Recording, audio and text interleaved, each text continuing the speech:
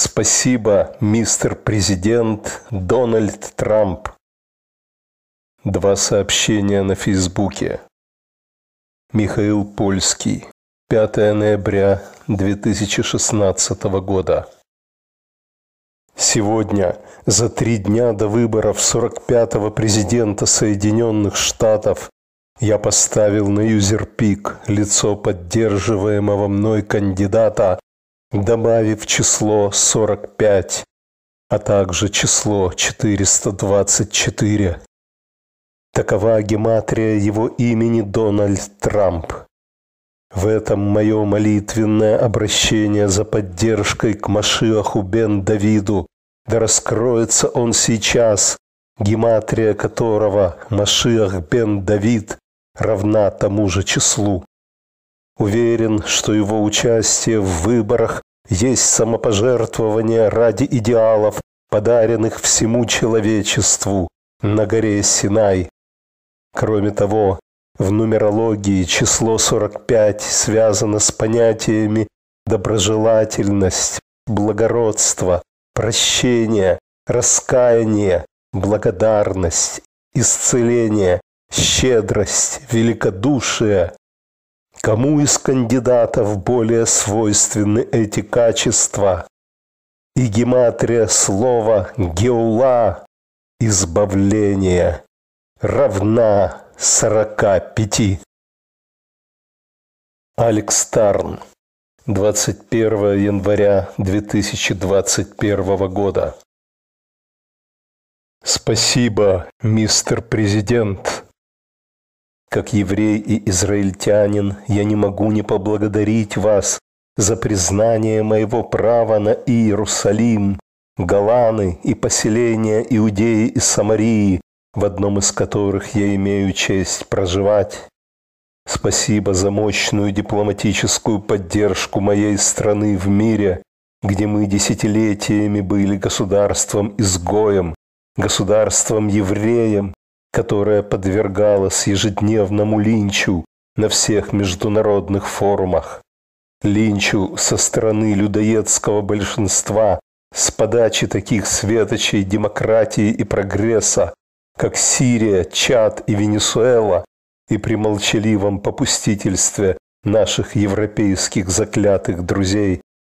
Спасибо за целую пачку мирных договоров с арабскими соседями договоров, о которых мы мечтали годами, как о недостижимом мираже Аравийской пустыни.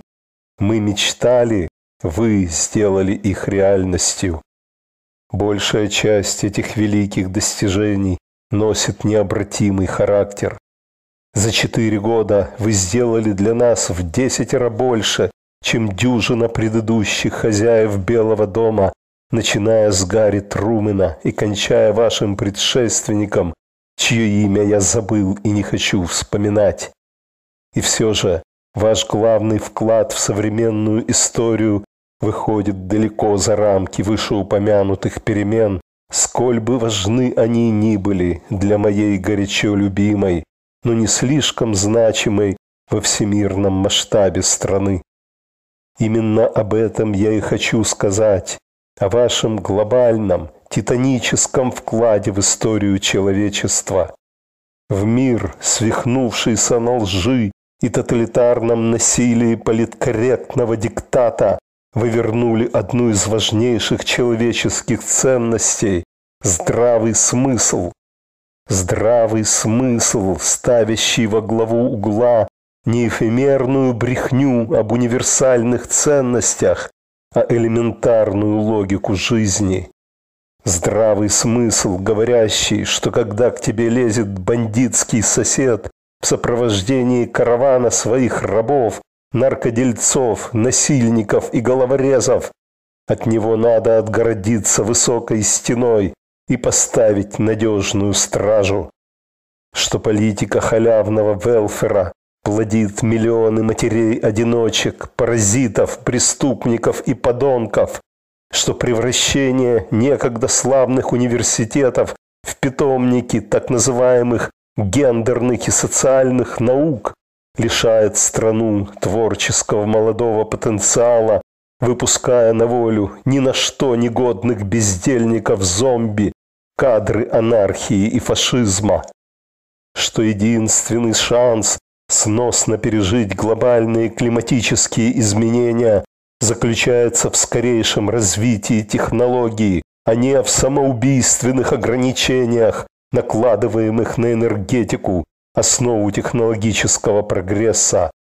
Что касается генетики и гонения на ученых, осмеливающихся публиковать неугодные прогрессистам данные, не святая борьба, кавычки, с родимыми пятнами белого супрематизма, кавычки, а мракобесное игнорирование научных фактов, ставящее науку в подчинение идеологии, как во времена Галилея и Коперника, что нормальная семья – это мама, папа и дети, а не однополый родитель номер один и родитель номер два, покупающие для себя детей у женщин-инкубаторов из третьего мира, как щенков или рабов на невольничьем рынке, что Америка не обязана оплачивать завтраки, обеды и ужины своих экономических конкурентов, что незачем навязывать ложку и вилку соседу, который твердо намерен хлебать свои щи лаптем.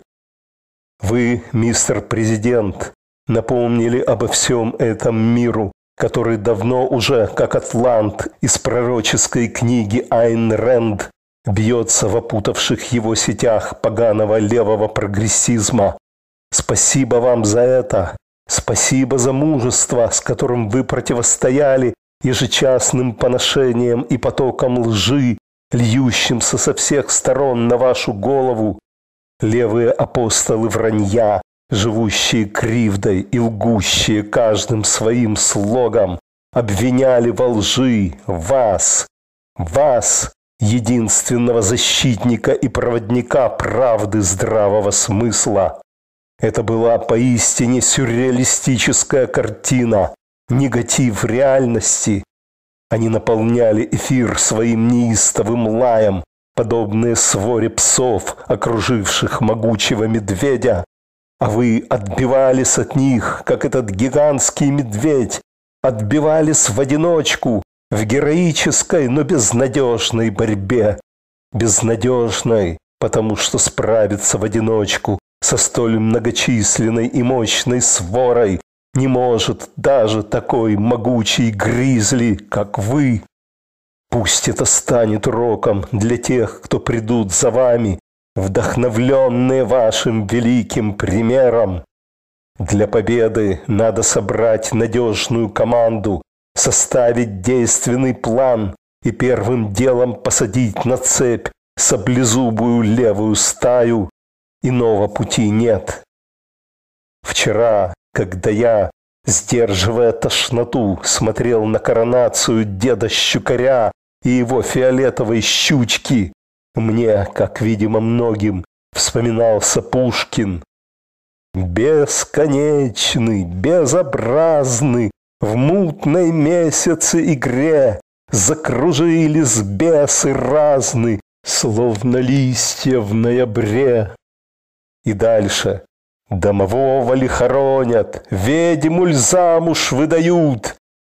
Что ж, судя по дряхлому виду домового, Вчерашняя церемония была и в самом деле лишь прелюдией к его скорым похоронам.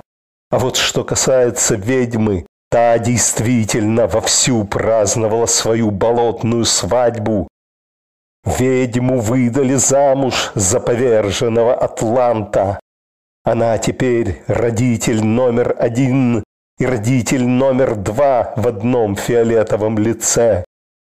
Эй, живые инкубаторы, готовьте свои утробы, несите своих детей в кровавые лапы левого молоха. Нынче его праздник, его вонючая, лживая, обманом выцеганенная победа. А сразу вслед за шабашем на ступенях отвоеванного у народа Капитолия настал горький период отрезвления тех, кто до последнего надеялся на чудо. Скажу честно, Меня немало тревожило то состояние, в которое впали многие мои друзья уже после того, как стало совершенно ясно, что все легальные попытки юридической команды Трампа блокируются левыми бесами и покорными им чиновниками. Тревожили призывы верить в некий эзотерический «план» в кавычках, в таинственный хитроумный ход, в готовящийся из-под удар по врагу и в прочие фантастические сценарии. Было очень печально слышать это еще и потому, что приверженцам президента изменил здравый смысл, то есть именно то, о чем напомнил миру Трамп во время своей героической каденции. Как и следовало ожидать, разочарование стало тем сильней, чем фантастичнее были напрасные иллюзии. Мне пришлось утешать тех своих друзей, чье отчаяние приняло и вовсе непропорциональные размеры. «Эй, ребята, жизнь не кончилась на поражении президента. Пока жив здравый смысл, всегда есть надежда на его возвращение. Помните историю о рабе Акиве, которому удалось спастись после того, как в бурю перевернулся его челнок? Наш мудрец всего лишь ухватился за доску и при каждой набегавшей волне пригибал голову.